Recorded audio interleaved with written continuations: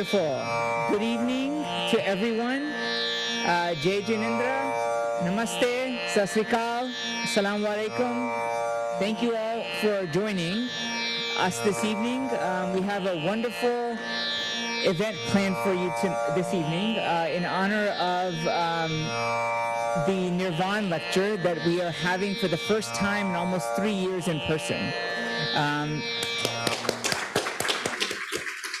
it celebrates, I believe, 13 or 14 years of our cooperation between the Jain community of South Florida and FIU, the first endowment of Jain studies uh, in North America. So we're very happy and excited that we're able to have and welcome uh, two wonderful uh, performances tonight. One academic and one musical. Um, we have Professor uh, Sasha Restifo, uh, Aleksandra Sasha Restifo, who is joining us this year as the Bhagwan Mahavir Chair for Jain Studies. So we're very excited to have her. She's a tenure track professor in the Department of Religious Studies. Um, and we're also uh, honored to have Ramnikji here, who is here from Toronto, who will be performing uh, a live concert um, on the second half of the program. So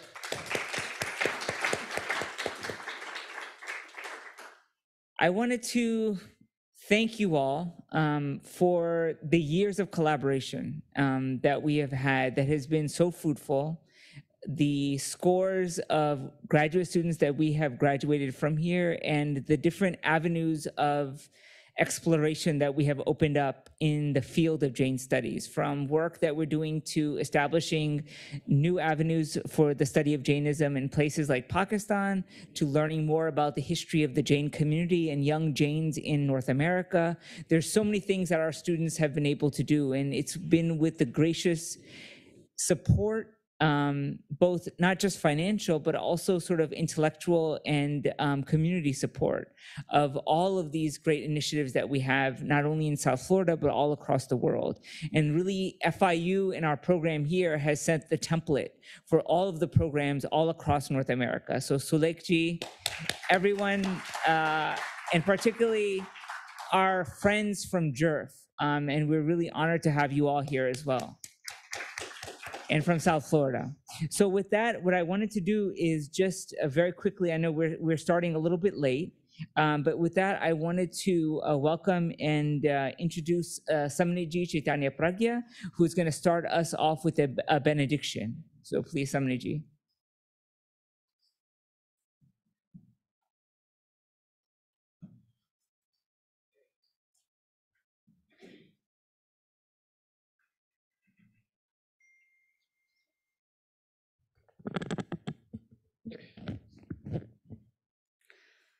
So today there is 2555th Maha annual Mahavir Nirvan Day. So we are paying our great homage and reverence to the great soul of Mahavir. So we are doing some prayer. Om Ring Namo Arahantanam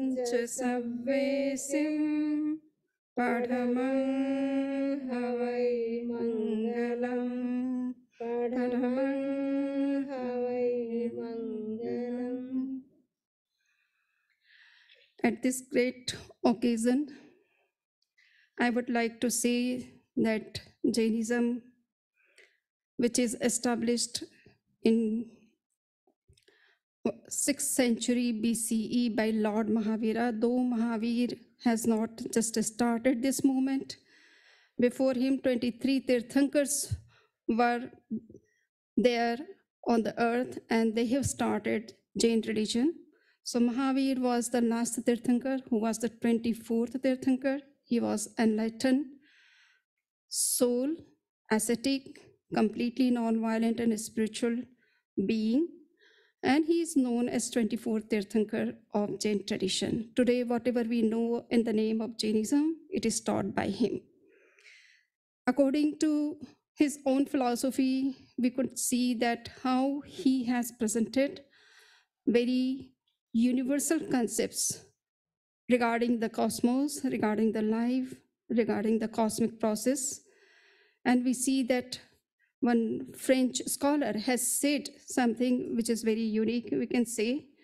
The great French scholar Louis Renou, in his 1953 lectures on the religions of India, observed that the Jain movement presents evidence that is of great interest, both for the historical and comparative study of religion in ancient India, and for the history of religion in general. Based on profoundly Indian elements, it is at the same time a highly original creation containing very ancient material, more ancient than that of Buddhism, and yet highly refined and elaborated. So we can see that these kind of remarks have been given by the uh, French scholar, Louis, and these remarks are certainly well founded. The Jain tradition is not only very old tradition, but it continues to manifest a great number of these uh, those religious and philosophical elements which had already made it unique to or some 2,500 years ago. So this shows that how Jainism has contributed to the world philosophy, world religion, world society and community, and how we can follow his universal messages of nonviolence, spirituality, and also universal laws. He talks about so much universal laws which are governing the whole cosmic process. So these kind of philosophy is given by Lord Mahavira, and FIU has created such environment to understand these lofty ideas, universal concepts uh, through academic adventure. And uh, this is what we are organizing this kind of events here every year at the occasion of Mahavir Nirvan lecture and at the occasion of Mahavir Jayanti lecture. So this time, uh, Restifo, who is newly appointed here in gender studies as the professor, and we are welcoming her. She has also chosen a very good topic, and it will also show that how Jainism has given new ideas in this field, which is known as false appraisal and quick uh, judgment. So with these words, I will I welcome uh, Restifo here for the talk.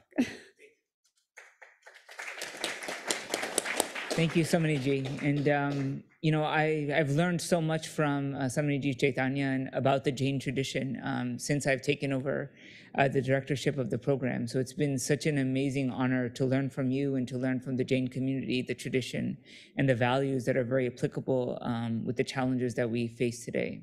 So um, I have uh, two more introductions before we get to Professor Restifo. The first is um, Dean Shlomi Dinar, who is currently the Dean of the School of International and Public Affairs. Um, and before I introduce a little bit about him, I think I want to also acknowledge, um, and we can take a, a moment of silence um, for the passing of the previous dean, um, who passed uh, earlier this year. I think you you all know um, Dean John Stack.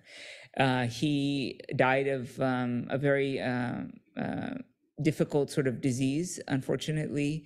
Um, but he really was a great friend of the Jain community, and he really helped to establish um, this partnership. Um, and he was one of the few people that were open to working with faith communities. So really before um, Dean Stack, people were like, okay, why why do we need religion? What's the importance of religion um, in sort of the academic world? You know, we just need to focus on science. And and really, it was Dean Stack who said, no, you know, religion, humanities, these ideas are critical for the well-being of our of our society, and we really need to learn from uh, societies and cultures outside of our own uh, here in the West. And so his uh, he pushed through with the president um, uh, at that time, Rosenberg, to establish uh, the the program for Jain Studies while it was the College of Arts and Sciences, and then establishing SIPA. And uh, now uh, uh, Dean Shlomi Dinar, who has a doctorate from Columbia, um, and helped to then not just envision and actually materialize the School of International Public Affairs,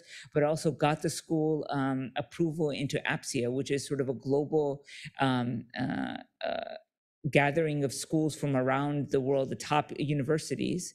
Um, so we're part of this elite uh, establishment of universities, and we hope that FIU and the program for Jain Studies becomes something that is globally recognized, right? And so that's kind of what we're trying to do here with the Institute for Advanced Jain Studies with Professor Restifo's leadership, really thinking how do we translate Jainism, not just as values that can help to heal the world, but also how do we translate those values for young Jains in the United States and for Americans uh, generally as well. So we have so many different levels at which we're working, and we're very honored that um, Professor uh, Shlomi Dinar, who is also the dean of the college, also fulfills and wants to further that vision and is helping us to be able to move that forward. So with that, I will welcome uh, Dean Dinar. Thank you.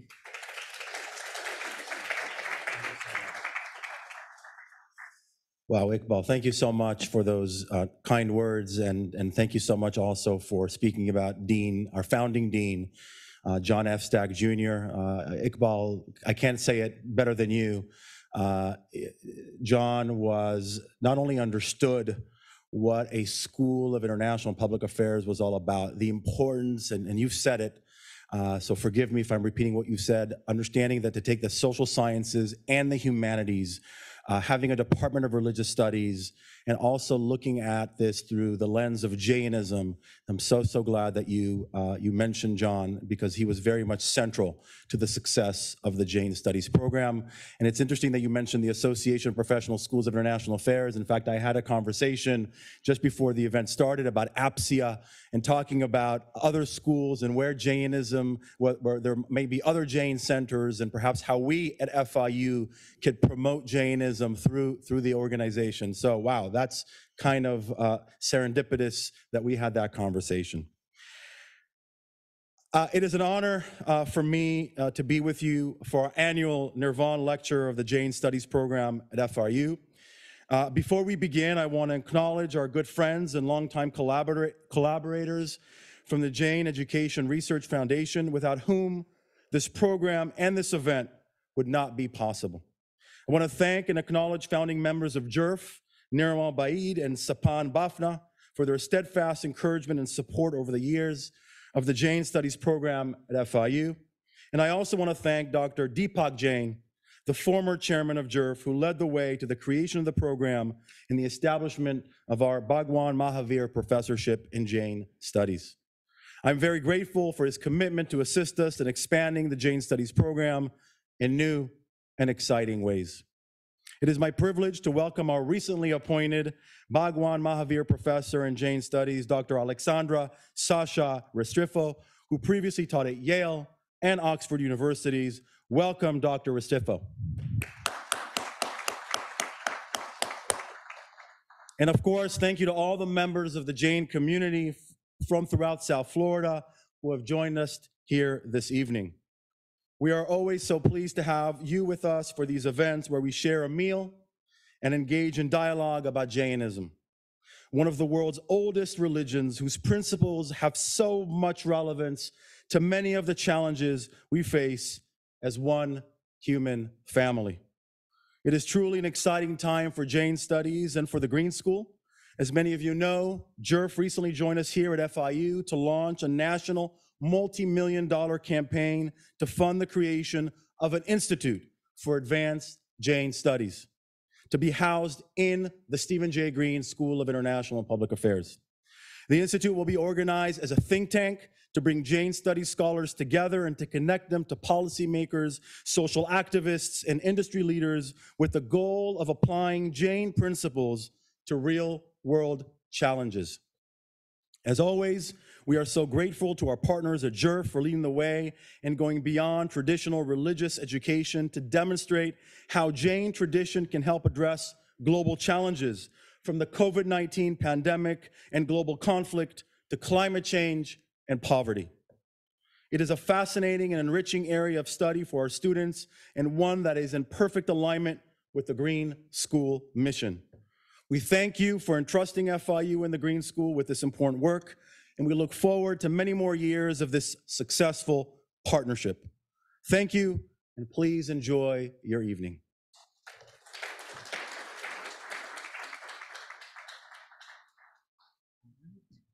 Last but not least, um, my mentor and the chair of the Department of Religious Studies, Professor Eric Larson.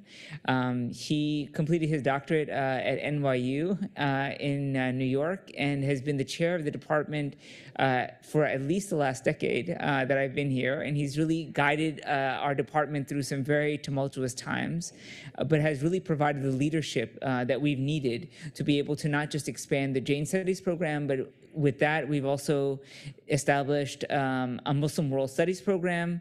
We're now expanding into Tamil language and Tamil culture, so looking at Hindu Tamil language and culture as well as Jain uh, and and other sort of uh, traditions sort of within Tamil culture as well. Um, so really kind of expanding and thinking through what are all of the ways that different communities that are represented in the United States can teach us about um, their own heritage and sort of how we can connect that to making our society better. So with that, I want to welcome Professor Eric Larson to say a few words to the, to the community.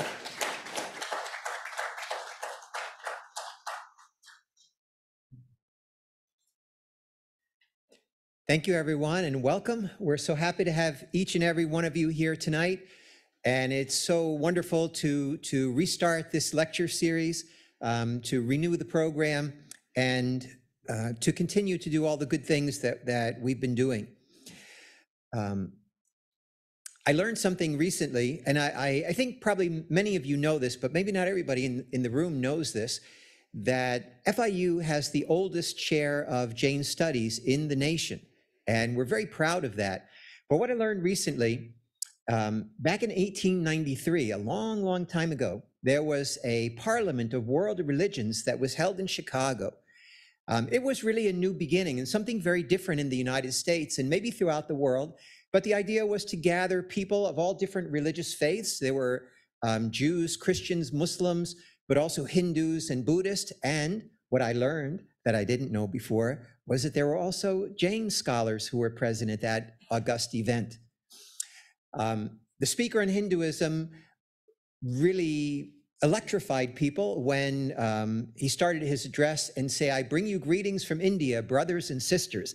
And people broke out into applause. Imagine in 1893, the idea that, you know, the, the human race was one great um, brotherhood, right? And sisterhood of people from all different um, beliefs and backgrounds, but that we all held spiritual values in common. But the speaker who made the greatest impact was actually one of the Jain speakers, and people were just so impressed by the wisdom and the grace and the understanding and the values um, that he shared with them at that conference. Here, we have been very proud of the Jain Studies program and all the, the successes that we've had. And we're especially proud right now. Um, I love seeing my, my junior professors come along. So Professor Akhtar has become the, the academic director of Jain Studies. And of course, we thank everybody in the, the Green School, the Dean's Office for helping us so much. Uh, Dean Dinar, we really appreciate your support, and Pedro Bota, um, I'll mention you especially. So, and David Skip, um, thank you so much for all the work that you have done. But it's really a great privilege and an honor to see a young scholar with the academic promise and the brightness of Professor Restifo. We're just so, so happy that she's here And we look forward to many great years of cooperation and taking Jain studies even to a greater level. So thank you very much, everybody. Enjoy the lecture tonight. All right, now we're here for the one of the main events for tonight. Um, we're very honored to have Professor um, Aleksandra Sasha Restifo, who is now the Bhagwan Mahavir Professor for Jain Studies at Florida International University. Um, she completed her doctorate at Yale, um, her um, first master's, a second master's at SOAS. Um, she has a, a BA from Indology at St. Peter, Petersburg University and also has an MA from Hyderabad Central University. For those of you who are Hindi speakers or Urdu speakers, um, Professor Restifo is a native, like she speaks Hindi natively. So if you want to talk to her in Hindi, you're more than welcome to do that. Um, unbelievable. I've, I've, I've rarely seen that. Um, so her Hindi is impeccable. Um, she researches emotion and its role in ritual and social culture in South Asian religions, um, of course, focusing on Jainism. Her current book project examines the ways in which emotion participates in Jain metaphysical theories, ritual practice, devotional expression, and community formation uh, through an exploration of emotional concepts and uh, perceptions of emotional experience in medieval Prakrit and Sanskrit sources, Professor Restifo offers a new understanding of the processes that underline change and continuity in Jainism. More broadly, she's interested in medieval and early modern Jain literary culture in the context of religious and political change. Her forthcoming study uh, is entitled Genre as a Polemical Device, an Alternative Biography of um, Darsa. Um, addressing a polemical response to a new uh, spiritual movement in Jainism that appeared as a threat to the existing tradition and continuity of knowledge. So, with that, I am honored and privileged to welcome Professor Sasha Restifo to the podium.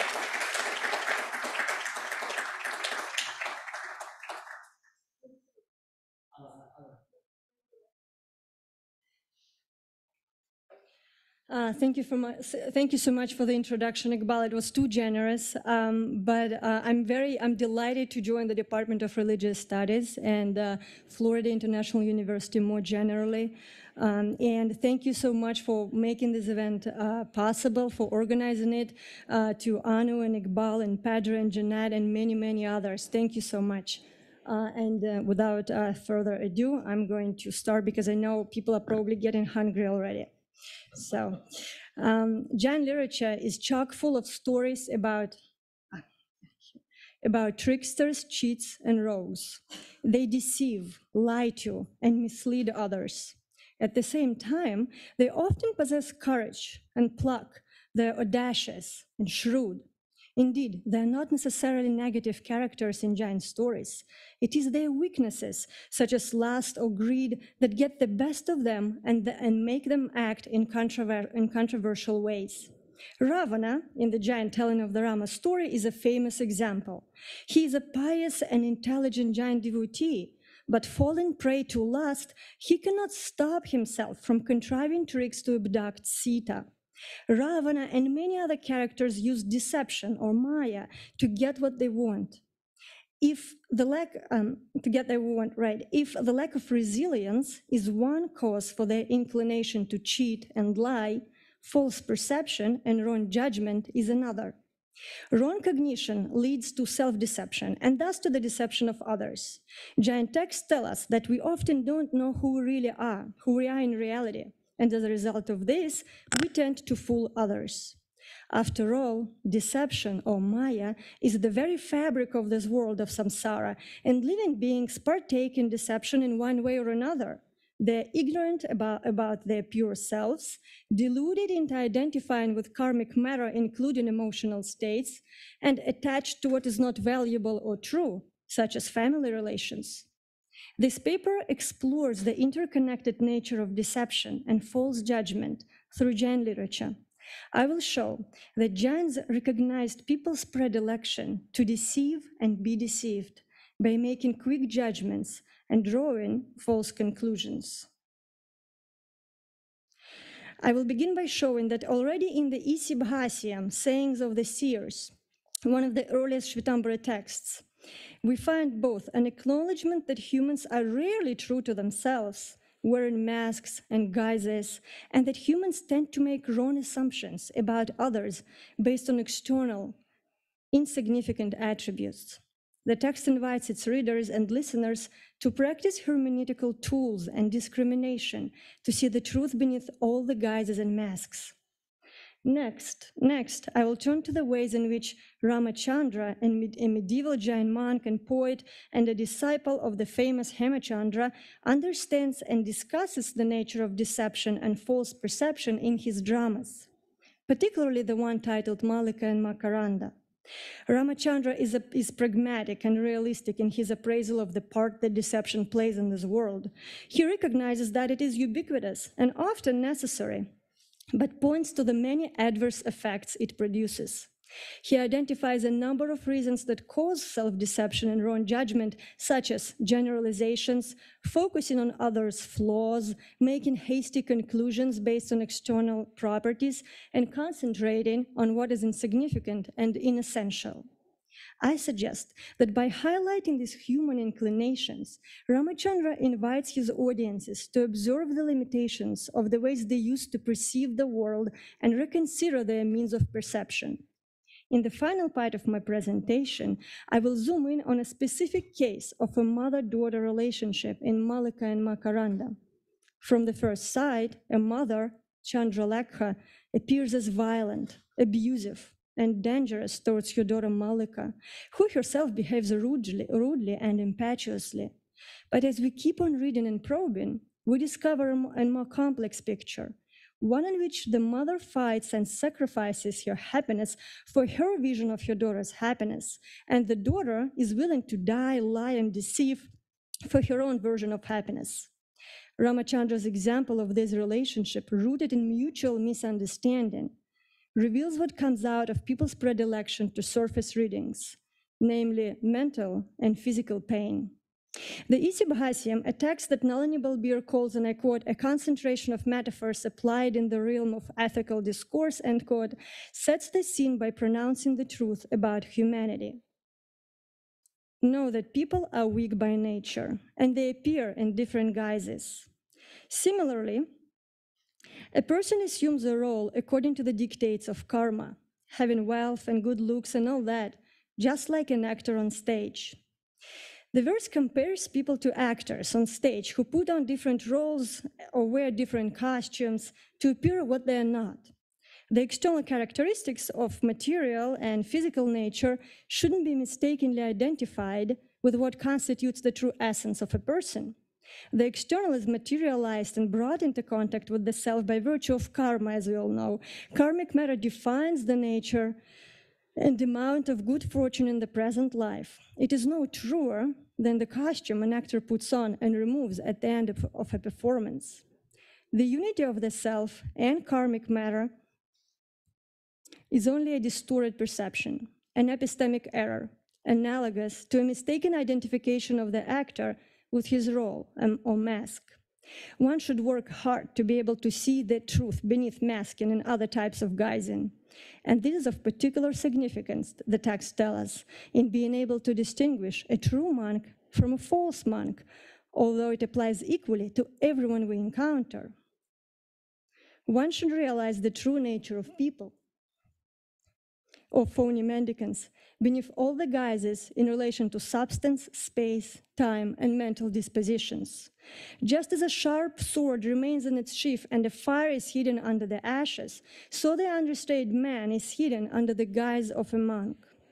Guising is the, is, is, a, is the prerequisite of being in this world. The state of appearing through the lens of the material is at the core of human identity. The plural genitive compound linga jivanam can be also understood as a technical term denoting lax, unrestrained monks who possess the necessary outward mendicant signs the pulled out hair, a white robe, a water pot, a woolen broom, while harboring lust and anger inside. The author makes it clear that assuming material guises is what the non liberated souls do. The four elements substance, space, time, and mental disposition are the four nikshepas, or uh, the, translated by John Cort as, and others as Jaina hermeneutical tools or contextualizing frames, in conformity with which one should analyze every phenomenon. So the verse enjoins us to employ every tool, to employ every tool in order to discern the truth about oneself and others beneath all sorts of guises, monastic or otherwise. Turning to Ramachandra and the world of drama, we discover a reality that is complex and therefore controversial. Through his characters, Ramachandra repeatedly admits that some forms of deception are unavoidable for people in this world. Wise people always consider deception despicable, but without it, difficult things cannot be achieved. One who rejects, rejects deceit must belong to the other world. Those who stay in this world definitely engage in deceit. One who is devoid of deception, compassionate, truthful, and humble often appears weak minded to people.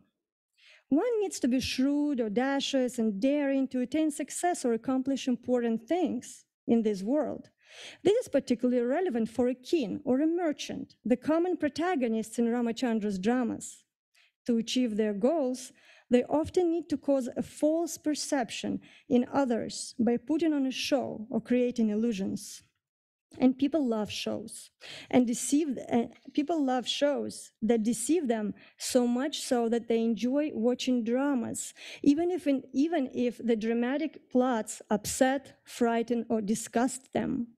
In Mirror of Drama, the Natya Darpana, Ramachandra and his co-author Guna Chandra explain that aesthetic pleasure ensues from precisely the realization of being deceived. That they, the four unpleasurable aesthetic emotions, elicit the feeling of wonder or chamatkara is what happens after the savoring of aesthetic emotions has ended and is the result of the genius of the poet, of the skill of the actor in showing things as they really are. Indeed, those who, hate, who, who, take pride and courage are astounded by the deft attack of a hero, even if it leads to someone's decapitation. Wise people, having been deceived by the feeling of wonder produced by the talent of a poet or an actor, which causes the whole body to be suffused with pleasure, experience the state of the highest bliss, even in unpleasurable aesthetic emotions, such as pitiful, etc. So the audience comes to enjoy drama or poetry as a result of being in a state of double deception. Firstly, by presenting things realistically, brilliant acting or excellent poetry leads the audience members to forget that drama portrays a fictional world and identify actors with the characters they portray. Further, the viewers themselves become so absorbed in the dramatic action that they identify with the character's states and experience pleasant and unpleasant emotions along with them. After the savoring of the aesthetic emotion ends, they realize that they have been beguiled by the genius of actors and poets and attain the state of wonder or chamatkara. Secondly, while captivated by this pleasurable sensation of chamatkara, the viewers feel the highest joy and misconstrue its cause by locating them, by locating it in the emotions themselves. In this way, the audience is first deluded by poetry and acting that present the fictional world with such realism, and then they are led to misidentify the source of their intense pleasure. Pleasure here is inseparable from false perception and the state of being deceived. Now, the question of false, false perception and erroneous judgment is at the center of Ramachandra's Malika and Makaranda. Ramachandra exposes human inclinations to focus on the external, to generalize and concentrate on others' flaws, all unhelpful in forming a truthful picture of reality. He begins his play by debunking the criticism leveled at Jain monks for composing dramatic literature for entertainment and pleasure.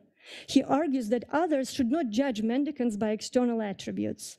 The actor expresses doubt about the ability of Ramachandra, as a Jaina monk, to compose a play filled with the erotic, comic, or heroic emotion. since everyone knows that mendicants are only capable of preaching sermons on the Jaina dharma that elicit the peaceful emotion. Actor, disdainfully, Sir, the mendicants are learned only in evoking the aesthetic emotion of peacefulness. Observing restraint in speech, they only use their eloquence for teaching Jaina, the Jaina dharma. They're completely incapable of composing dramas that exhibit the erotic, comic, and heroic aesthetic emotions. The director, however, points out that it is a foolish thought. Director, or worthy friend, now you are saying things which betray, which betray that you don't have the cleverness of even a villager. Everyone in the world knows that peacefulness is the true nature of great monks. But although gods are born in heaven, they travel in other worlds too. So the director's response suggests that external actions do not impact the true nature of gods who belong to heaven. In the same way, monks' true nature is indeed equanimity and peacefulness, but that doesn't prevent them from writing beautiful poetry or engaging in dramas filled with different aesthetic emotions. The actor's mistake is that he thinks external activity reflects the internal processes and what is real and true. The actor is guilty of surface understanding and pronounces a false judgment.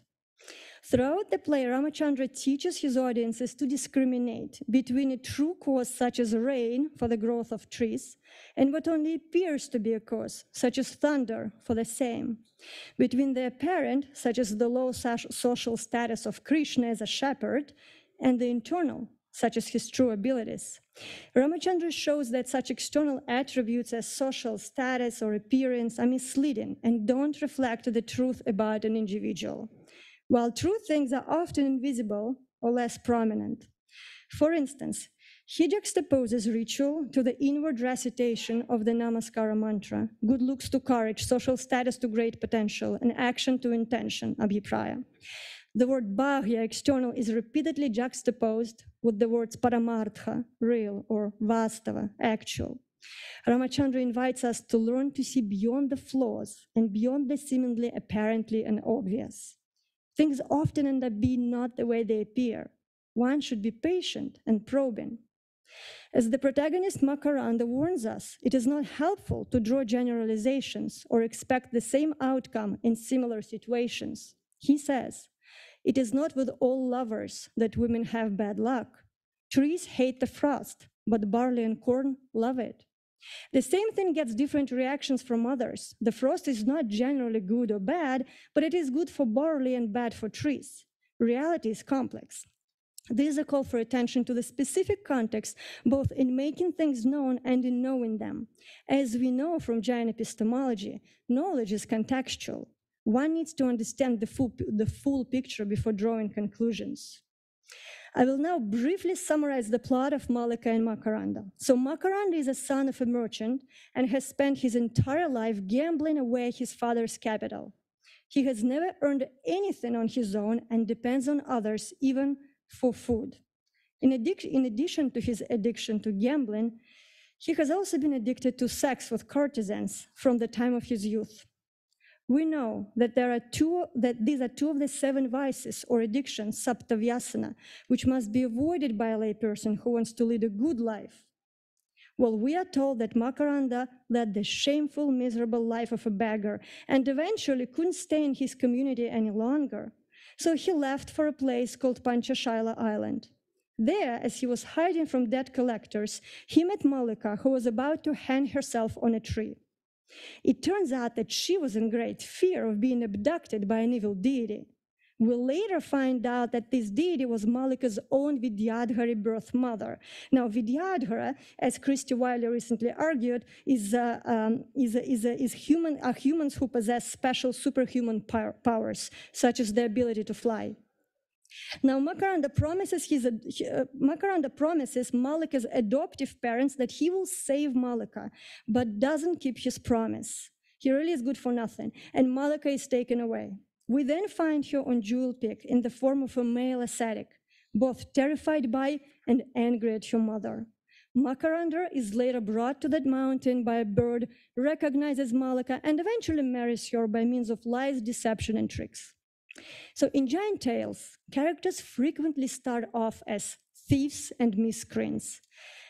But when their bad karmas wear off, they return to the right path, often through Jaina teachings. Karma from past births defines the character, such characteristics as appearance and social status, but one should not be misled by these external qualities. The truth about an individual cannot be seen with ordinary eyes. Rather, it consists of inner processes, as Ramachandra keeps telling us.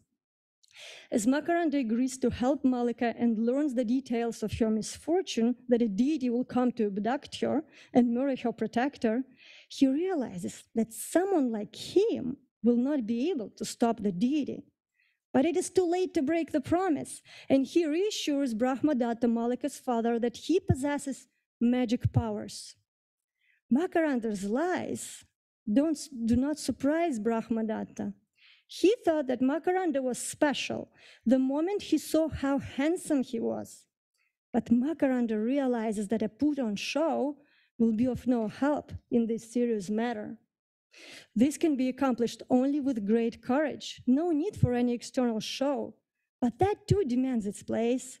Rainwater causes trees to grow, not the sound of thunder, but in the month of Magha, the clouds thunder anyway, much to the consternation of everyone. The external is seen, uh, what, uh, is seen as what is false and leads to, to people to make and leads people to make wrong judgments, even if it is an inevitable accompaniment of what is real. Makaranda acknowledges that he needs to put up a show for others. And even though he, quote unquote, can, can be satisfied only with things that are real, such as the internal recitation of the Namaskara mantra, a mantra with which to worship the five types of the Jaina great souls, as everyone knows. The father of Malika falsely assumed that Makaranda had special powers or was able to defeat the deity solely based on Makaranda's lovely appearance. But Makaranda admits the truth about himself and knows that things that are prominent and loud, like thunder, are often not the causes or agents of a good outcome. Rather, what is less noticeable and makes a considerably less powerful impression ultimately accomplishes the goal.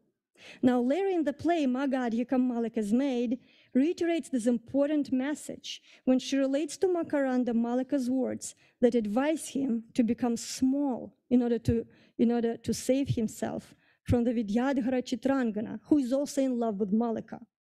Indeed, you are my husband. You should protect yourself from Chitrangada by becoming small or insignificant. A Among potent men, he who makes himself small does something great in the end. Having reduced himself to the lowly state of a cowherd, Hari killed Kamsa. Hari is, the, is another name for Krishna. The form of the coward does not exhaust or define the real nature of Krishna, his might or intelligence.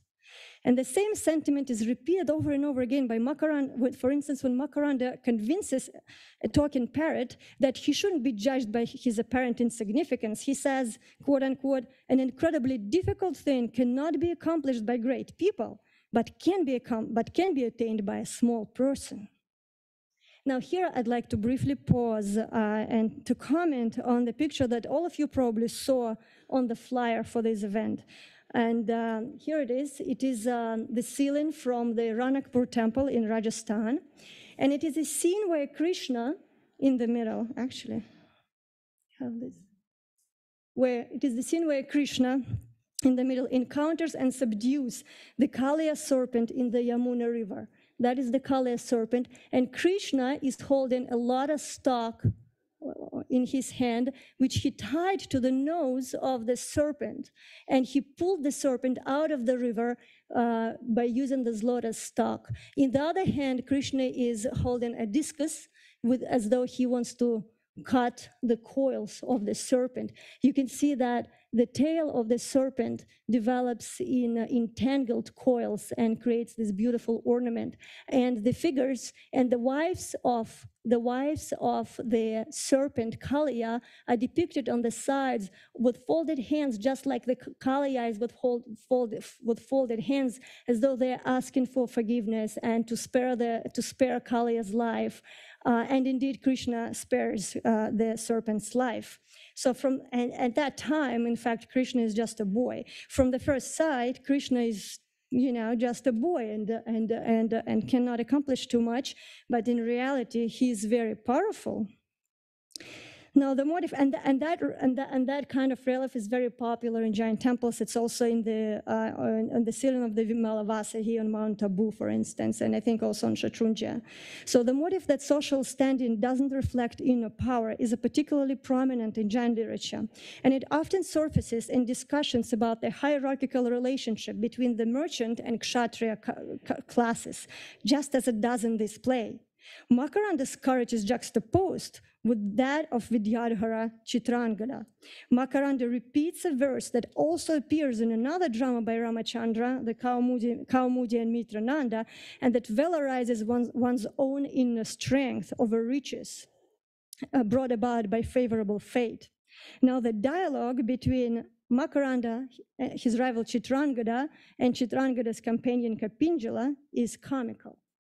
And I hope you enjoy that. Who are you? With anger. Ah, blabbering merchant, you're asking me?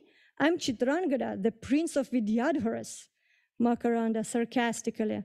Then I'm Makaranda, a supreme prince of Vidyadharas. Kapinjala. Ah, lowly merchant, you're equating yourself with the prince, an ornament of the Kshatriya dynasty whose broad shoulders indicate his heroism? Makaranda. Wicked dog, you have no idea what things are of what things are in reality. Heroism has nothing to do with Varna. It resides only in one's true courage. And true courage may be found in a merchant and may not always be found in a kshatriya. That courage is not confined to kshatriyas is indeed a fundamental matter for Jains, who largely come from the merchant class. Ramachandra relegates social markers to external attributes, which are either false or empty of substance and therefore misleading. The word varna can be translated as social class, but it can also be used as it was in the Isibhasiyaim cited earlier to mean disguise, costume, or makeup. In order to save Malika from abduction, Makaranda devises a complex tantric ritual that requires extraordinary items, such as the milk of a young tigress or bright yellow pigment from the horns of deer that live on the Vindhya mountains.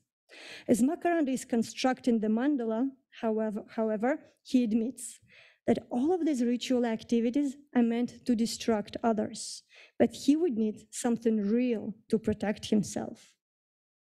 Others can be, can be entertained by a fake show, but I can only be satisfied by things that are real.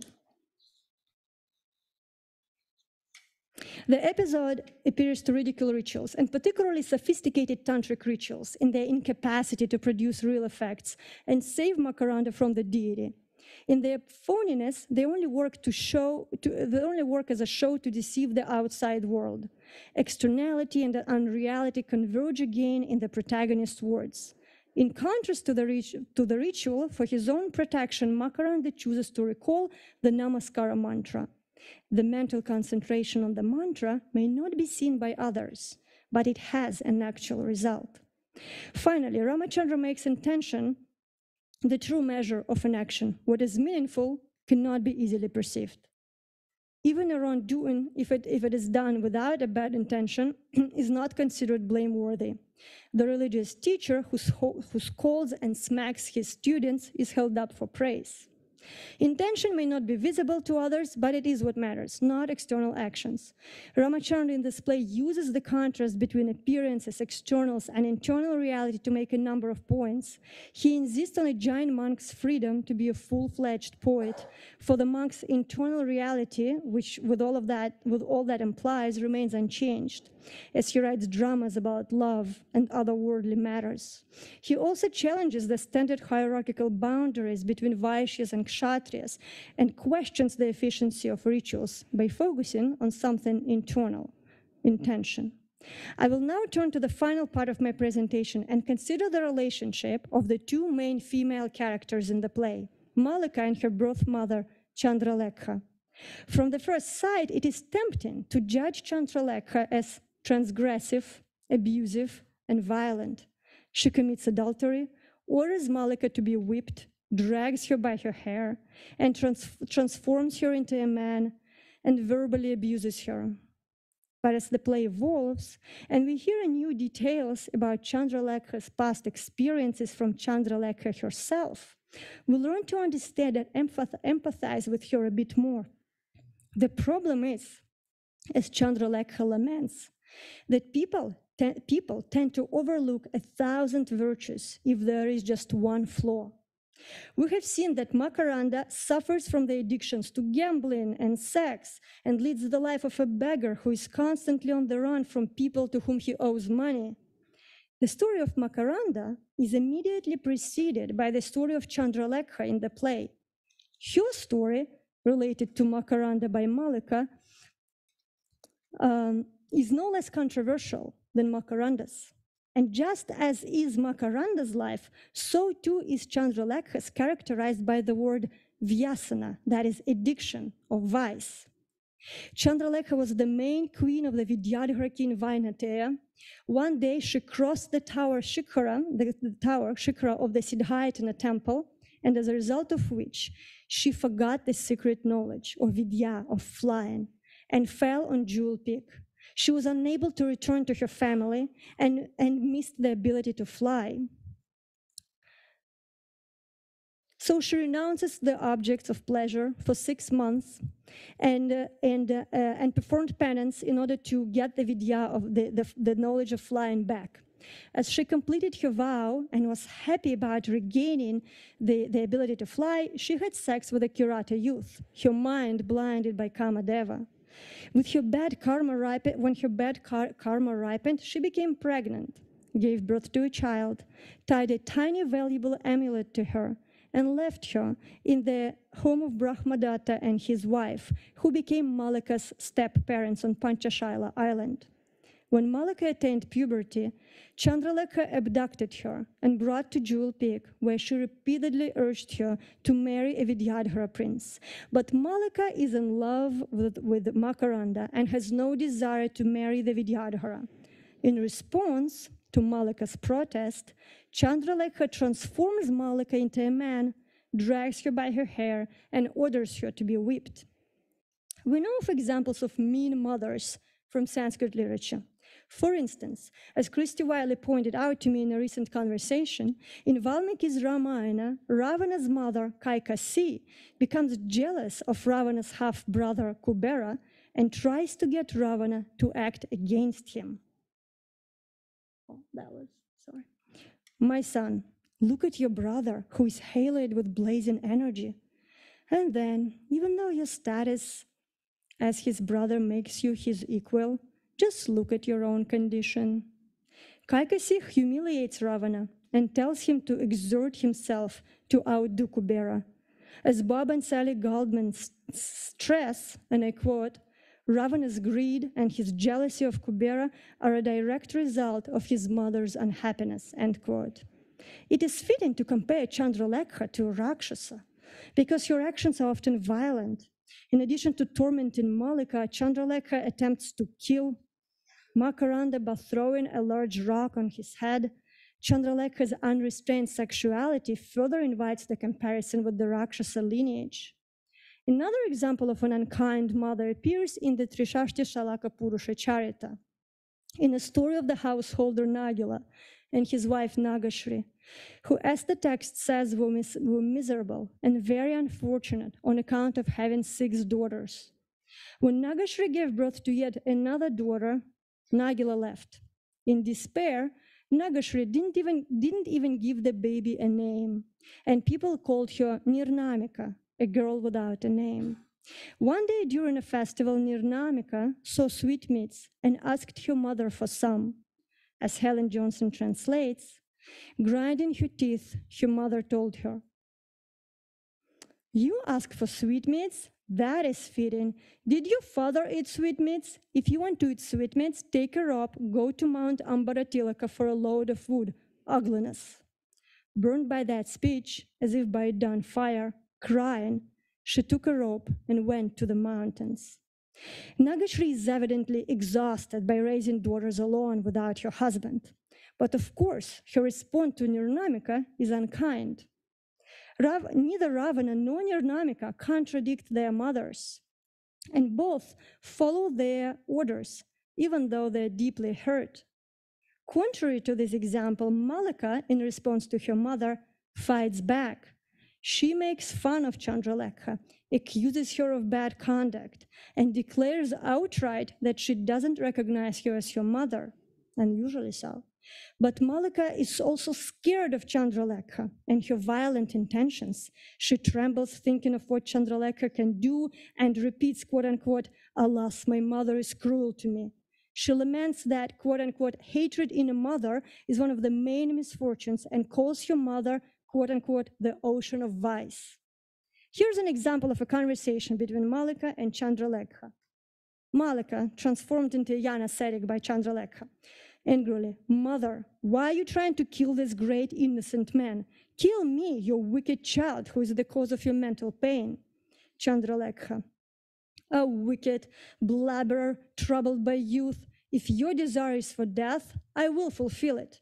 Pulling Malika's young ascetic by the hair, Devalaka, take this wicked slave girl. At the beginning of the next act, we find Magadhika, Malika's maid, crying and telling Makaranda that Malika is in danger. What can I, wretched woman, say? Right now, Malika's life is in danger. After she was taken from her bower and brought to the house of Chandralekha, she was whipped for, for remembering you. The theme of death reappears again in a conversation between Malika and Magadhika. The conversation is interrupted by Chandralekha, who enters accompanied by her servant, Tamarasa. I'm going to do what my mother Chandralekha desires from offstage. Daughter, what is it I desire? Magadhika, looking, is this Queen Chandralekha? Entering, supported by Tamarasa's hand. Chandralekha, daughter, what is it I desire? Malika, my death. The only mother's order that Malika is willing to follow is that of death. In response to these harsh words, for the first time, we get to hear Chandralekha's take on the situation with sorrow to Tamarasa. Clouds completely remove heat, fill hundreds of rivers, including the Ganges, and nourish plants. And all that goes to waste because of one thing that it doesn't quench the thirst of the wretched Chataka birds. Alas, people overlook a flood of virtues and focus on a single flaw. I've suffered the distress of childbearing and childbirth. To protect her, I did the unthinkable. I left her in the home of the noble Brahmadatta. I've been trying to arrange her marriage with the Vidyadhara prince who possesses a kingdom and fortune. And Malika, this daughter of mine, is bringing all of that to waste because of the separation from that lowly merchant. Chandralekha endured the pain and trouble of childbearing and giving birth, had to find a way to protect her baby, and now is trying to arrange a good marriage for her. Malika, however, appreciates none of this and insists on doing what Chandralekha perceives as nothing but youthful foolishness. Chandralekha compares herself to the cloud that, accomplish, that accomplishes many things, but all people speak about is how it can never fully quench the Chataka bird's thirst. Similarly, Chandralekha has gone through so much trouble to arrange a good life for her daughter, but all everyone sees and knows is her imperfect conduct. Chandralekha's servants warn her that if something happens to Malika, people will reproach her. But Chandralekha is no longer scared of scandal. She says, and I quote, I've already been expelled by the people of my own community for my three way of life. What can be a greater scandal than that? End quote. From this, scene, from these scenes, we see that Chandralekha does not have evil intentions whatsoever, and her decisions have been, dedicated, have been dedicated to ensuring that Malika is safe and well. We now know that she did not abandon Malika, but handed her to Brahmadatta and his wife for her own protection. This reminds us of famous characters from the Mahabharata and Ramayana. Kunti had to give up Karna to protect him, him, him and herself, and Devaki and Vasudeva saved their son Krishna by handing him over to Yashoda and Nanda. The initial image of Chandralekha as a powerful, scary, and violent demoness has dissipated. We now see a single loving mother scared for her daughter and working hard to arrange her life. Ignorant of all this, Malika speaks to her mother in the same way that Makaranda speaks to his rival in the play, the Vidyadhara prince Chitrangada, which is baffling. Malika is intransigent, disrespectful, sarcastic, and dismissive. One would ask, how is it even possible for a daughter to be so rude with a parent in Sanskrit in a Sanskrit text? And the answer to that we find in the last conversation between Malika and Chandralekha. Daughter, why do you despise me, your own mother? Accept me, do your duty, so that I can make suitable arrangements. Malika, with anger, I've accepted you as my enemy. I'm doing my duty, which is, my, which is death. Make arrangements for my death. Chandralekha, with reproach, Oh, wicked, hating me for no reason, disrespectful, ingrate. Because I carried you in my womb, I was expelled from the home of my parents and in laws. And now I'm suffering, living like an ascetic on Jewel Peak, where demons roam. On top of that, you're tormenting me with your crooked words. Malika, mother, it's not me who is the cause of your suffering, it is your bad conduct. Chandralekha to Tamarasa. Do you see how my daughter is twisting the knife? Magarika, with anger, to Malika. Princess, you are mean. Do you think it's appropriate to repeat, to repeat rumors about your mother? Malika treats Chandralekha without the affection or respect that parents normally receive from their children in Sanskrit literature. Her sarcasm, expressed by her use of indirect speech, reminds of the ways enemies, such as Rama and Ravana or Makaranda and Chitrangada, speak to one another. From this conversation, we understand that the reason for that is that Chandralekha's conduct was unrestrained by societal rules. She committed adultery. What's striking, though, is that we have seen that Chandralekha's life story is juxtaposed with Makaranda's life story. Both of them made mistakes and broke the norms of propriety, but Makaranda is forgiven and redeemed. He is said to feel remorse and desire to perform atonement, prayashchita. He focused on the internal and what is true. He is compassionate. His, his heart is the mirror of another's suffering and courageous. He has sattva. If it is not unusual in medieval literature to portray a virtuous person as a male beggar, addicted to gambling and sex, it appears less common to depict a mother as abusive, violent, and adulterous, and a daughter as rude and disrespectful to her mother. Unlike Makaranda's case, no efforts or good deeds on the part of Chandralekha seem to be able to compensate for her, for her single mistake of adultery in the past. She doesn't receive redemption or kindness from her own daughter, who sees her as the enemy. Nevertheless, it is important that we hear her voice, her side of the story, and her criticism of society that is interested only in others' flaws and turns a blind eye to others' virtues. Emerging as a frightening force at the beginning of the play, Chandralekha gradually transforms into nearly a victim who cannot earn her daughter's respect and is unsuccessful in trying to assert her will.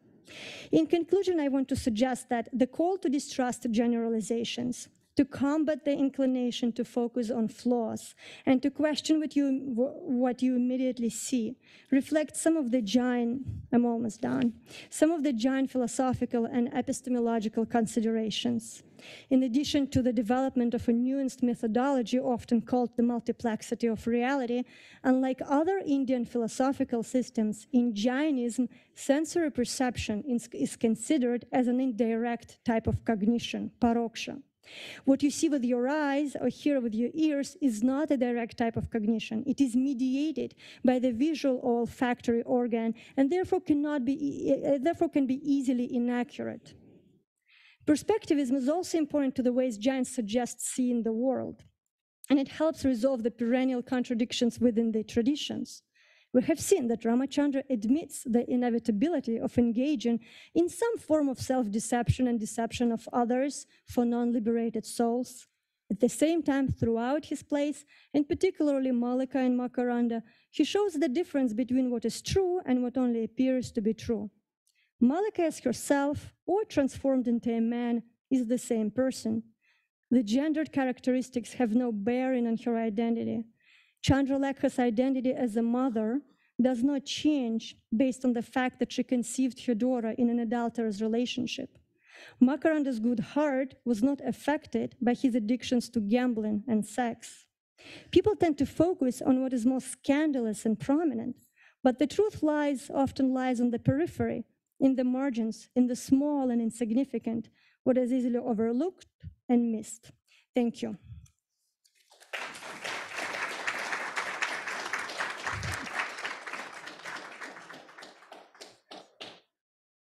Thank you so much, Professor Restifo. That was a wonderful lecture. Um, and I think it was wonderful the way that you were able to weave the narrative. Uh, the story, I think, is is so helpful for us, and, and particularly for you translating and, and work. That was excellent. We really enjoyed it. Um, so I think we're going to move on to the second part of our program uh, this evening.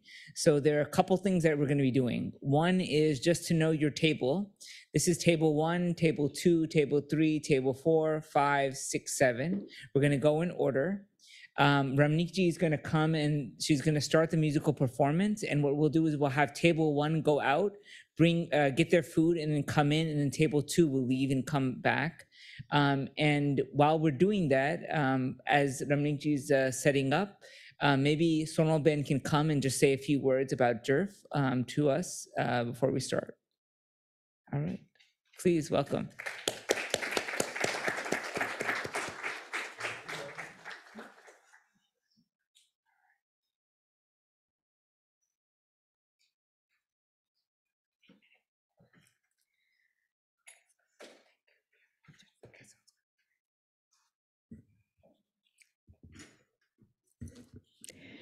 Respected invited dignitaries, Dean, I forgot again name, Shlomi Dinar, Professor Larson, Professor Sasha, Dr. Uh, Chaitan, um, Samni Chaitanya Pragyaji, Dr. Him Pragyaji, and of course, Dr. Akhtar.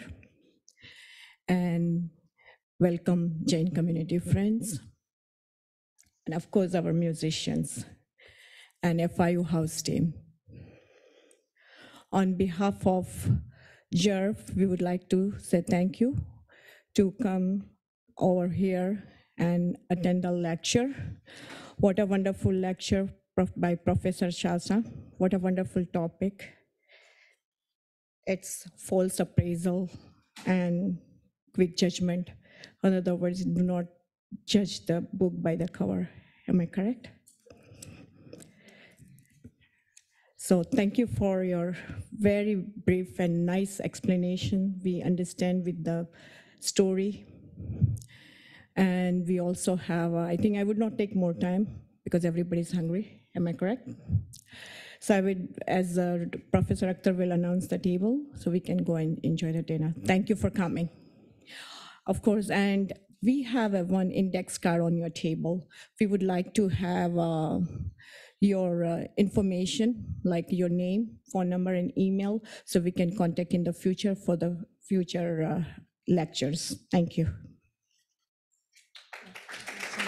All right, one more thing um, before we start. So, uh, Ramnikji uh, Singh uh, was born in New Delhi. So, she was uh, introduced to basic instruction in Indian classical music at the age of six. Um, and there she learned about uh, Hindustani uh, Sangeet from diverse sources, observed uh, her maestros in her, her early years, and developed a personal interest in her approach to music. She started her formal vocal training at the famed Music Institute um, in Vidyapit, New Delhi, where she acquired a bachelor's in uh, vocal music in 1998. Furthering her intimacy with Tala and Swara, she found the strict discipline and advanced training under the tutelage of Miss um, Amarjeet Singh in New Delhi, uh, a senior disciple of the late Ustad Amir Khan. Um, and she also has taken instruction um, from Vin, uh, Vinayak Tori, uh, Torvi, a disciple of um, Bhimsen Joshi, and is currently a disciple of Baldev Raj uh, Verma, uh, a third generation uh, of Indore Gharana. Um, her soulful music uh, and talim, uh, riyaz, combined with attractive style of presentation, won her, has won her uh, many acclaims. Um, she has a very unique style of rendering various forms of music. She's uh, an exceptional uh, scholar. She's given nu- numerous concerts uh, across the world. She's originally from Canada. She's performed at MIT in Boston, um, in the United States, um, and the Consulate General of India. So we're very honored to have such an esteemed musician here uh, with us, uh, and will be helping us uh, to learn more about um, Indian tradition and culture uh, through this remarkable medium. So thank you, Ramneetji. Thank you for coming. A little bit about Rajesh, maybe? Do you have? I don't know. I'm have- sorry. okay. If you- If you want to introduce yourself, you're more than welcome to do that. Okay. Well, his tabla will introduce him. Okay, there you go. Thank you. Thank you so much for that wonderful introduction, Dr. uh, Akhtar. Um, It's just wonderful to be here. Um, My first time performing in Miami. Hopefully, there'll be more. Uh, Generally, I do have a harmonium player with me who accompanies, but uh, sort of a last minute thing couldn't arrange. Um, so I'll do what I can. Uh, there won't be a lot of harmonium playing, there'll be more singing. So, um, but um, what I feel that uh, the spiritual nature of music is not bound by any particular belief system, uh, culture, color, or creed. Uh, if created from the heart and with pure intention, it gets recognized universally. I hope everybody believes in that. So, um, what I am going to be doing today is a few different kinds of genres, starting with classical and, uh, and semi, semi-classical uh, genres, primarily meditative nature. And as I go along, I will be talking about uh, every piece that I will be doing. So, um, with uh, much ado, I will be starting with a very uh, beautiful rag, evening rag called Rag Yaman, which uh, usually is like the starting point for any student when he gets into learning classical music. So, Rag Yaman is one of those. Uh, I mean, I remember learning it so many years back, but yet it is so very new to me every time I try and sing it. And that's the beauty of Indian classical music, just to give an idea that it's all improvised. So I've never met Rajesh. Uh, this is the first time I'm meeting him and right on the stage. And we are just going to be making some music together.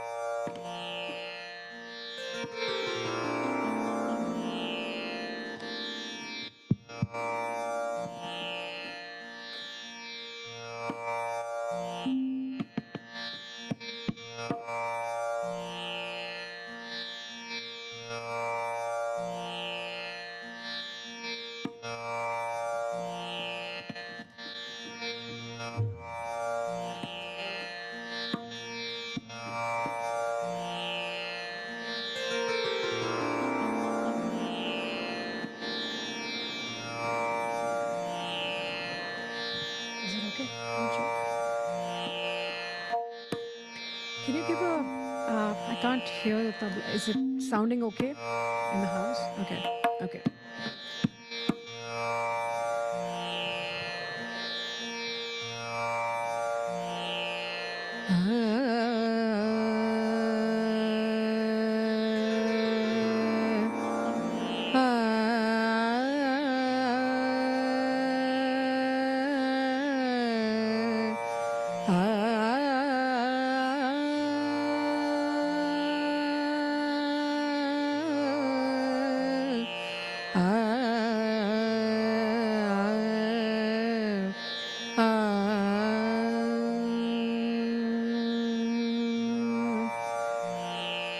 Ah.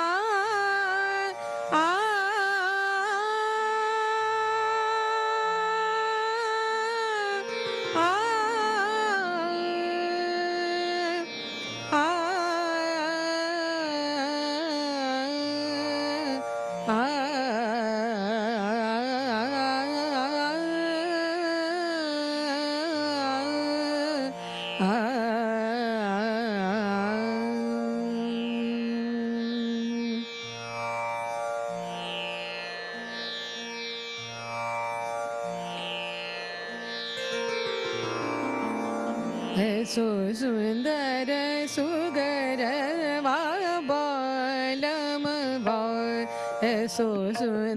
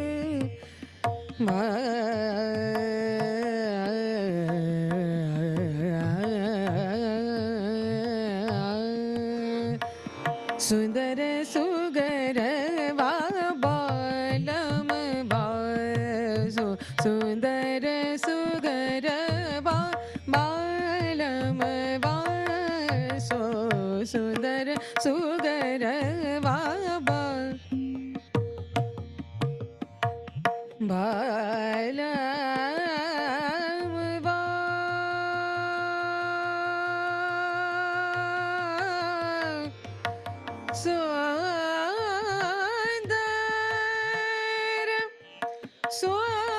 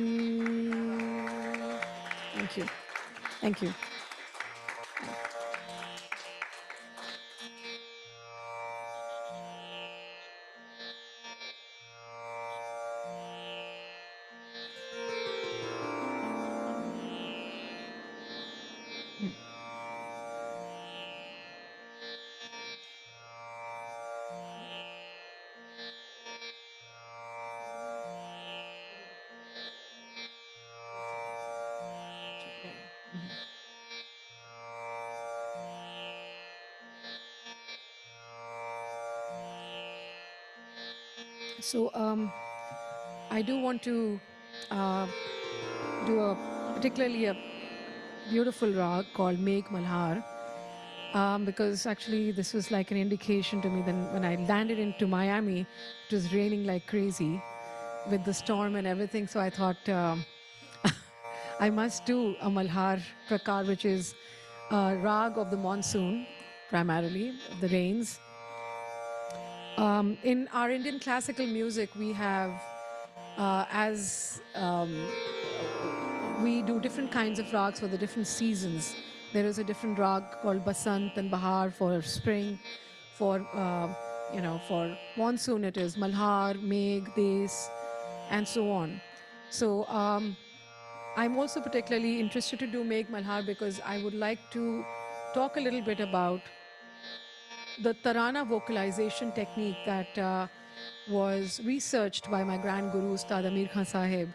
And uh, it goes back to the 13th century um, as, um, as, as written by uh, Amir Khusro Saab of the Sufi saint, poet.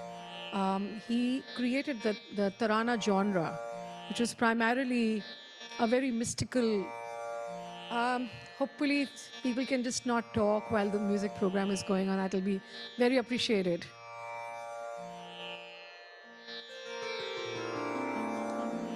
So, um,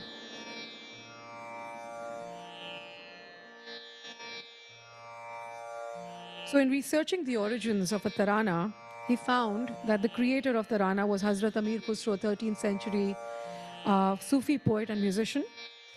The mystic philosophy of Amir Khusro found expression in his tarana, which consisted of meaningful mystic syllables, the repetition of which helped in meditation.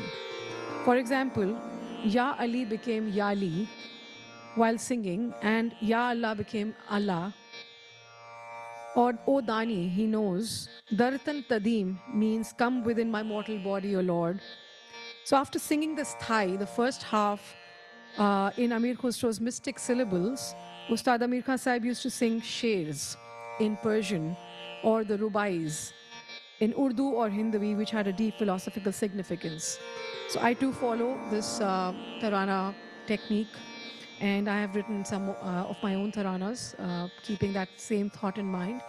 Um, I will be doing one khayal composition, which is in drut, which is fast tempo, and uh, then I will be doing the tarana. So rag, Megh Malhar. Hopefully, everybody will enjoy this.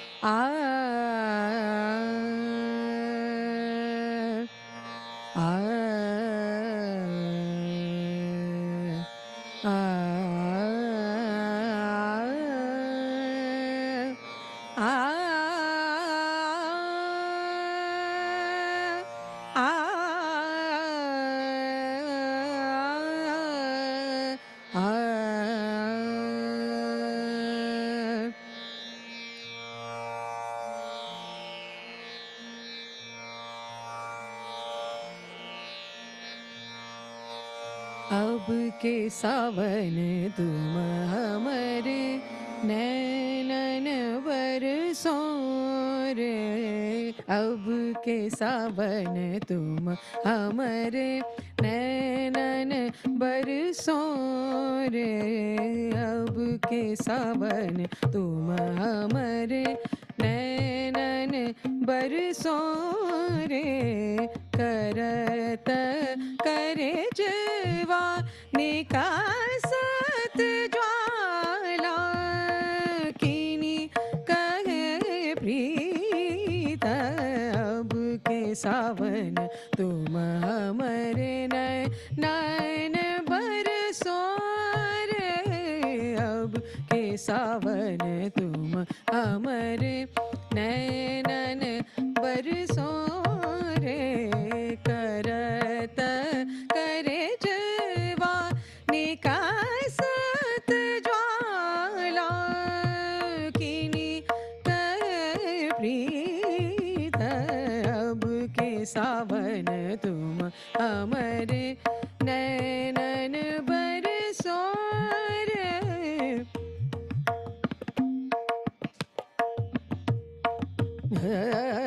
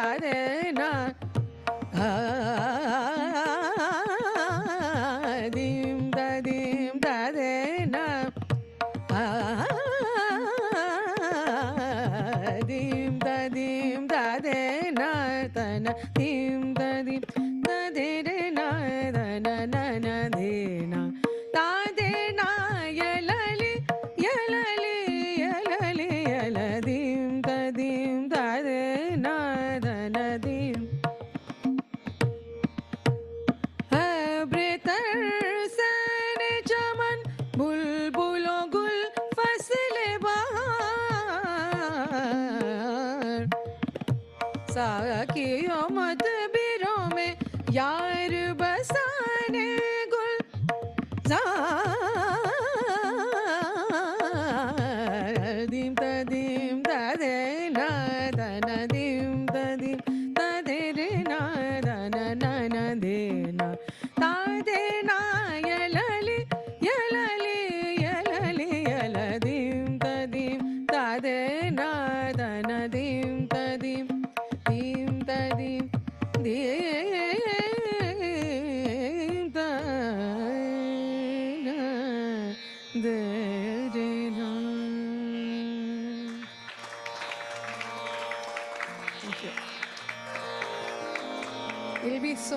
if everybody can bring all their food and then come and sit and then listen.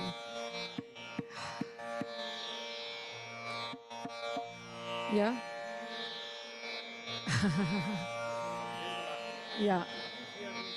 Okay, and, and can I have some silence when I'm singing because it's very distracting and I just can't concentrate. I'm not doing my best. I hope we can all uh, be focused on the music part now.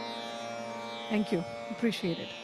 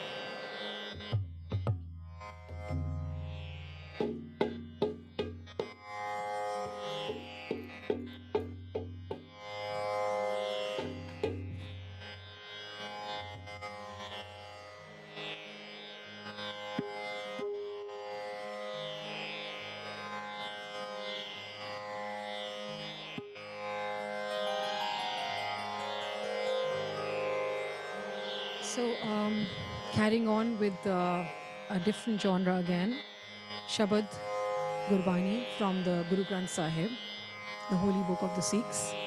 I will be doing one Shabad.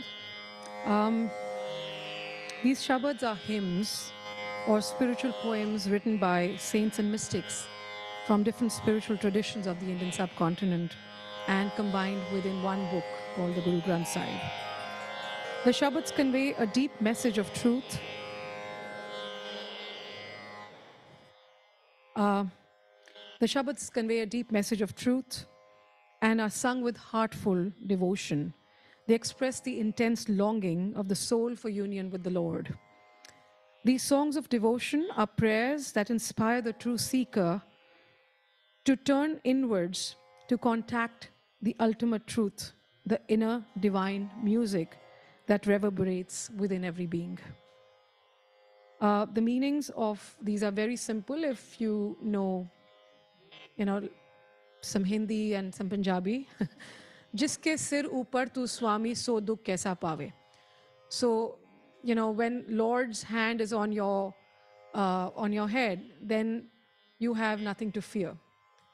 So um, that's what uh, it says. Hmm.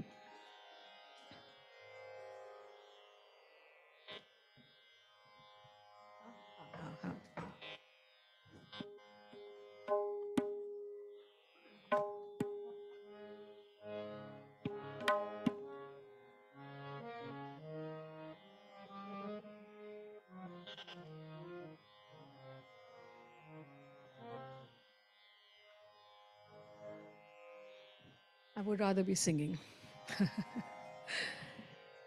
जिसके सिर ऊपर तू स्वामी सो दुख कैसा पावे पावे सो दुख कैसा पावे जिसके सिर ऊपर तू स्वामी, सो दुख कैसा पावे? पावे, सो दुख कैसा पावे?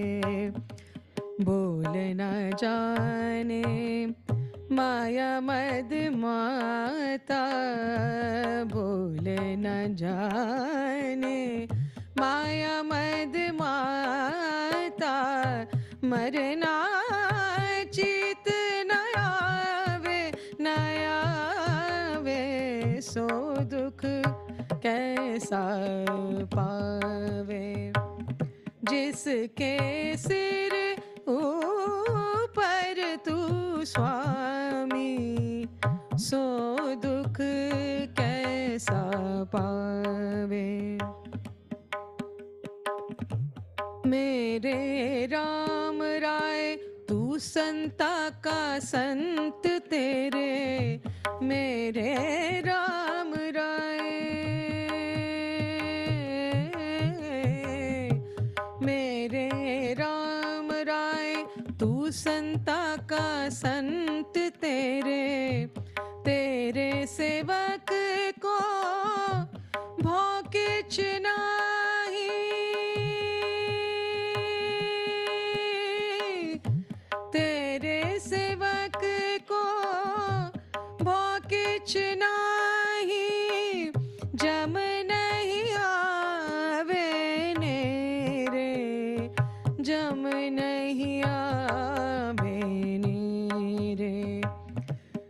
जिसके सिर ऊपर तू स्वामी?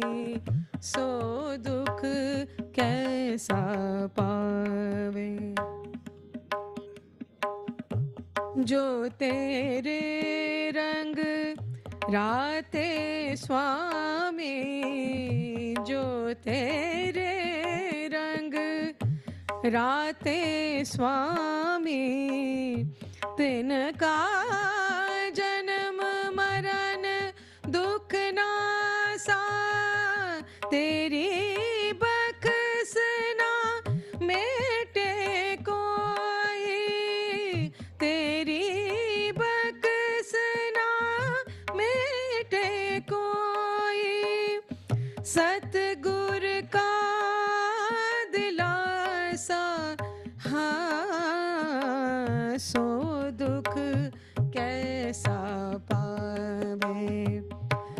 जिसके सिर ऊपर तू स्वामी?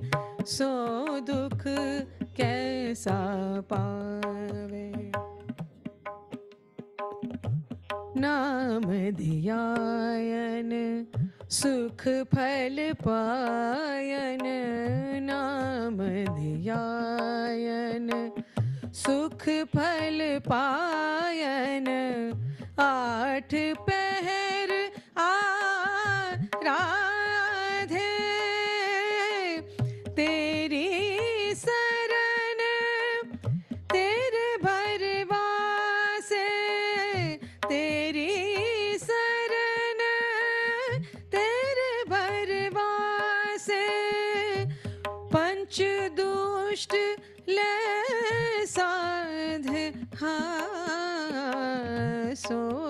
दुख कैसा पावे? जिसके सिर ऊपर तू स्वामी, सो दुख कैसा पावे? ज्ञान ध्यान किछ कर्म न जाना, ज्ञान ध्यान किछ ज्ञान ध्यान किछ कर्म ना जाना। ध्यान किछ कर्म न जाना ज्ञान ध्यान किछ कर्म न जाना। ज्ञान ध्यान किछ कर्म न जाना। सार न जाना तेरी, सब ते बड़ा सतगुर नानक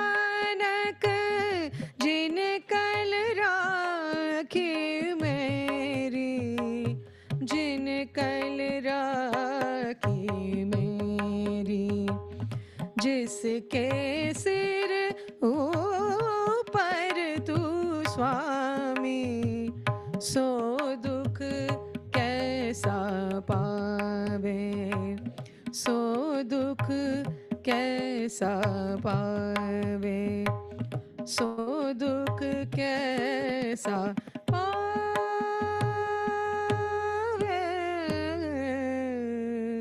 सो दुख कैसा पावे।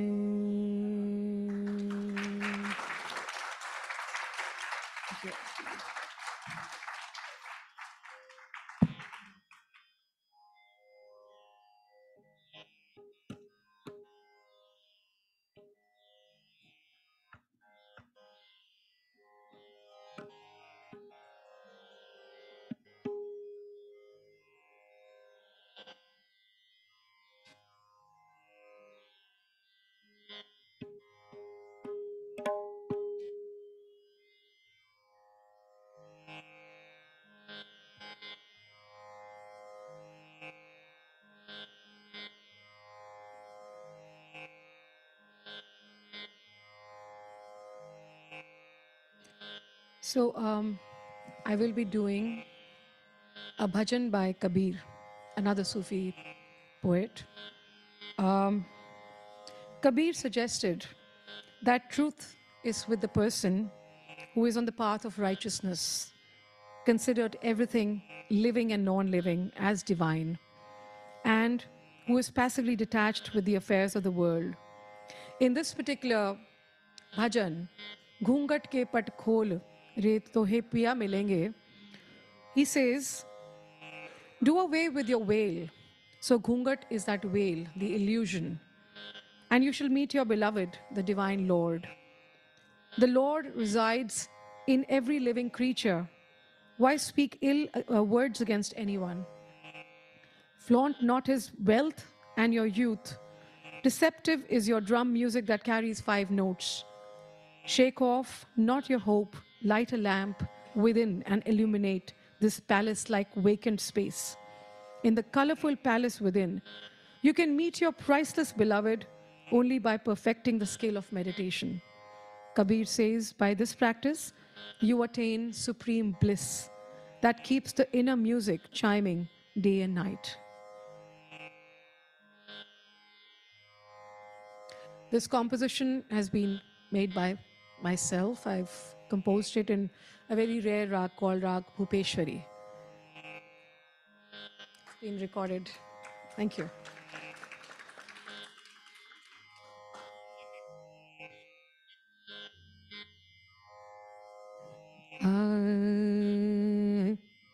Sa re ga pa da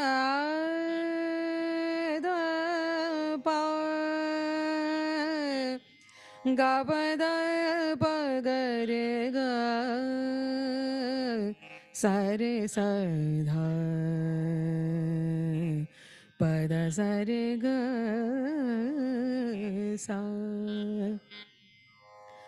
सरे ग पद पद प गबद प गबद सा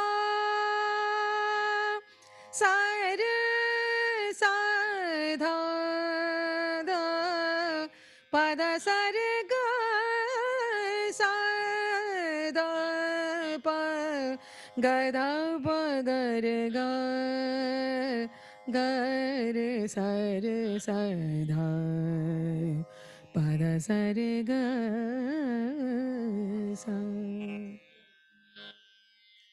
घूंघट के पट खोल रे, घूंघट के पट खोल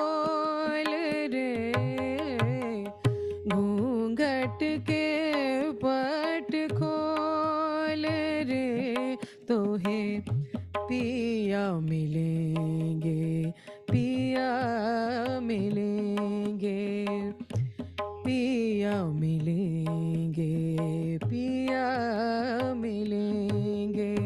घूंघट के पट खो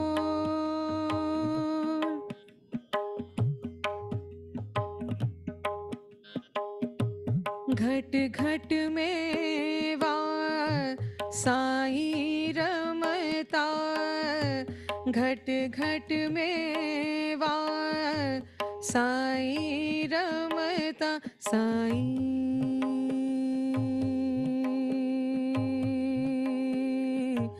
साई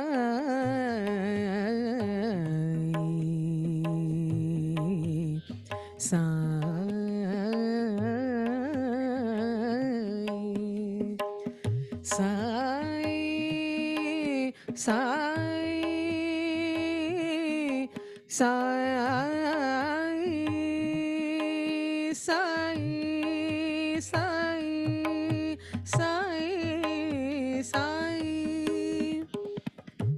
घट घट में साई रमता।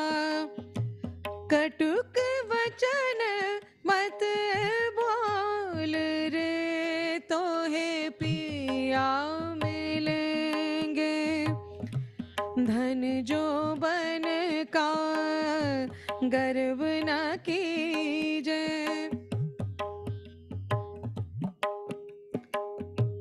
धन जो बन का गर्व न कीजे झूठा पंच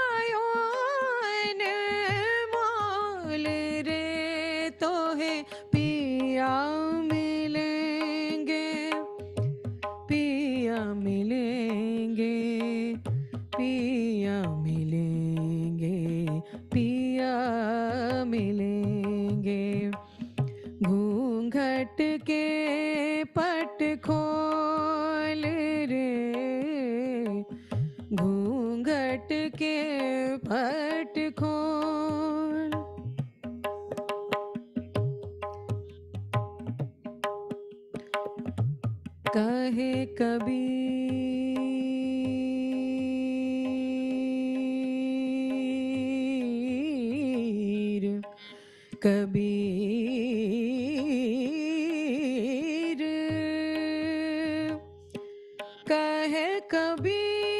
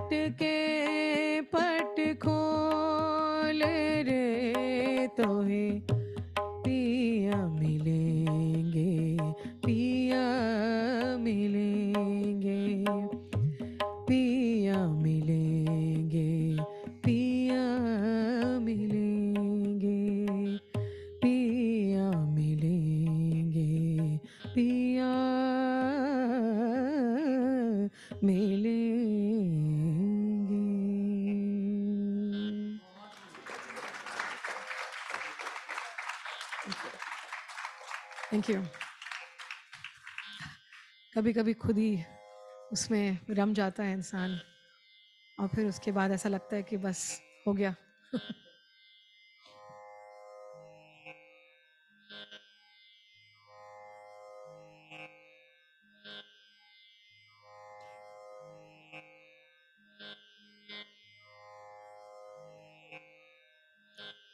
आई थिंक वक्त काफ़ी हो गया।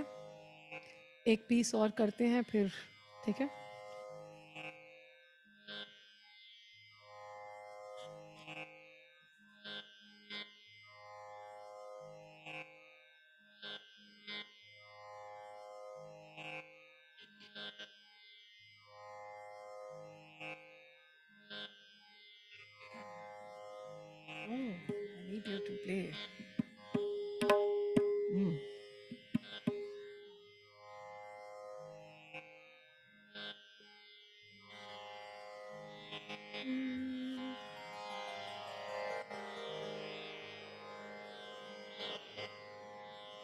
So, um, my last piece.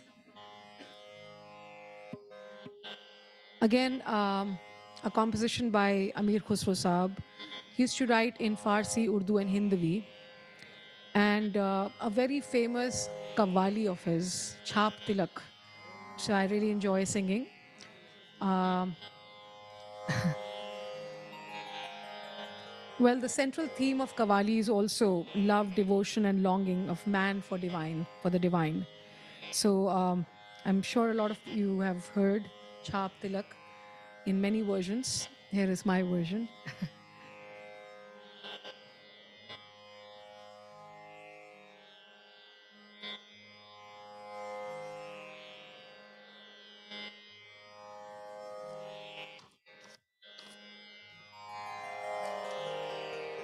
So uh, Khusro also wrote some dohas. I will sing those first and then go on to the kawali.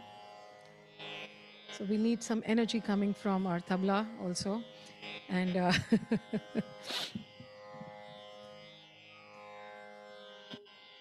हुसरो रैन सुहाग की जागी पी के संग मेरो मन पियो को एक रंग। हुसरो ऐसी प्रीत कर, जैसे हिंद जो पूत कराए कार ने जल जल कोयला हो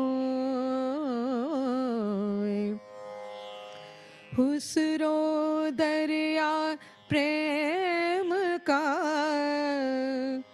उल्टीवा की जो तेरे सो डूब गया जो डूबे सो पार सेज वो सुनी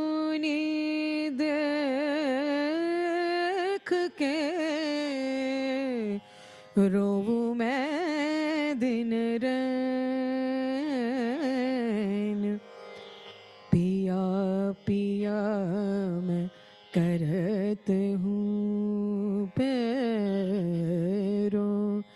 पल भर सुख ना चैन। अपनी छब बना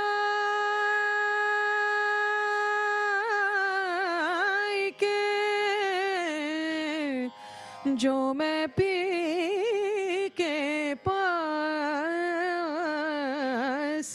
गई।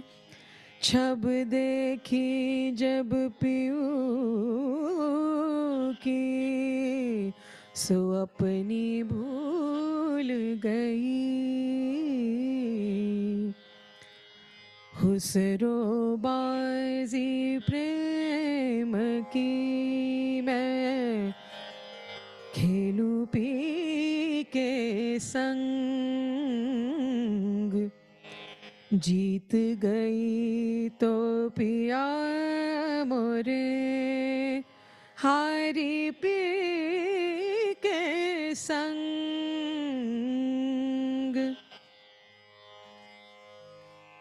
छाप तिलक सब छीनी रे मोसे नैना मिला के। छाप तिलक सब छीनी रे मोसे नैना मिला के। नैना मिला के, नैना मिला के, नैना मिला के। छाप तिलक सब छीनी रे मोसे नैना मिलाए के छाप तिलक सब छीनी मोसे नैना मिलाए के।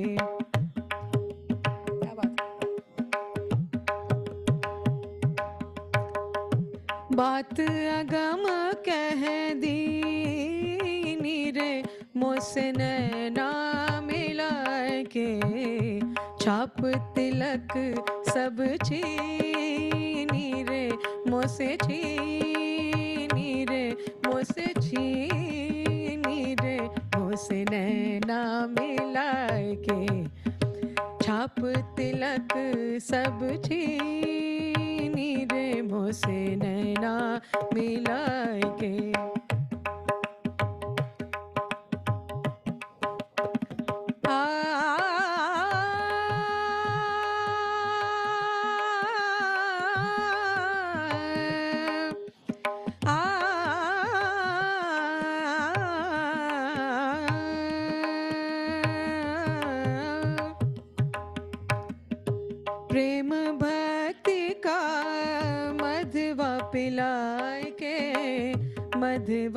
के प्रेम भक्ति का मधवा पिलाए के मधवा पिलाए के मत वाली कर ली नीरे मोसे नैना मिलाए के छाप तिलक सब छीनी मुँह से नैना मिला के छाप तिलक सब छीनी। रे मुँह से नैना मिला के गोरी गोरी बैया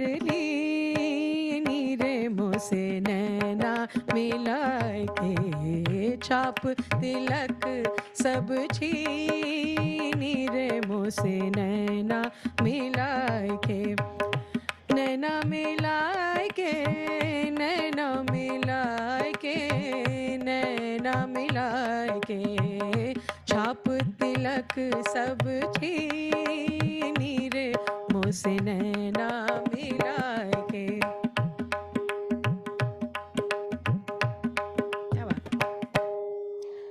बल बल जा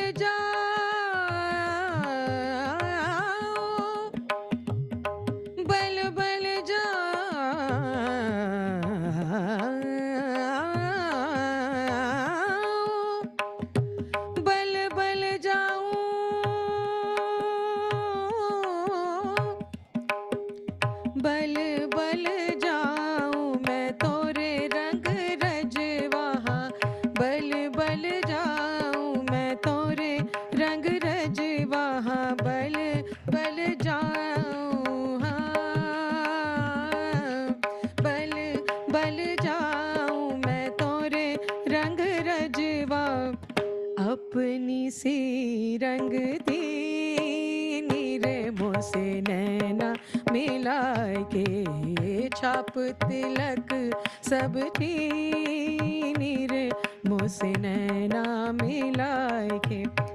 बात अगम कह दी रे मोसे नैना मिलाए के। छाप तिलक, सब चीनी रे मोसे नैना मिलाए के। छाप तिलक सब छीनी रे भोसे नैना मिला के आ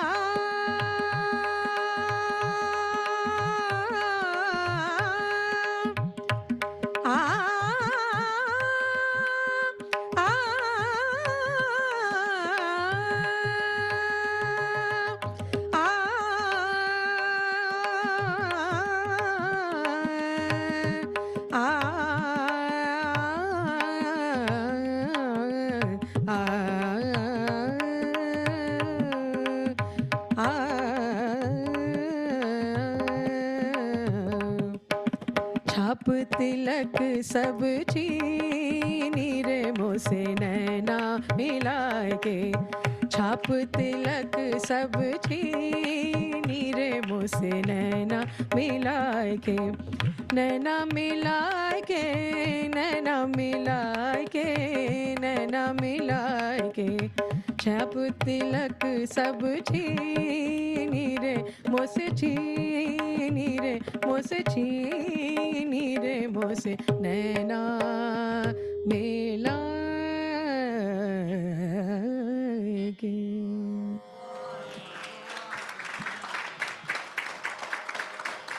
Thank you.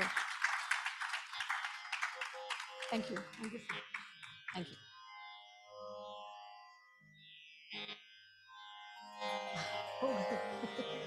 यही थी आपकी फरमाइश काइंड ऑफ़ क्या बताइए बताइए वो बोली मैं गाती नहीं हूँ हाँ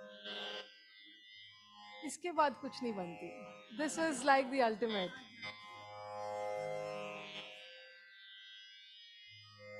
this is the grand finale I would say that yes